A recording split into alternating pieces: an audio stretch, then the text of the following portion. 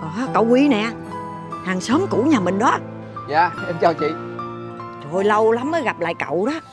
Mà cậu làm gì? Sao bây giờ cậu giàu dữ vậy? Đâu có đâu. Tôi chỉ là ba của cái thằng à, lượm ve chai kiếm vài đồng bạc lẻ thôi mà. Chú nói cho con nghe nè. Biết giúp đỡ người khác á, mới là người giàu có. Khi con cho đi á Lúc con té đó Thì có người còn đỡ con. Chứ con á mà ích kỷ giống mẹ con á Thì lúc con té đó Người ta chỉ có muốn đạp con thôi Quang đi về ăn cơm con?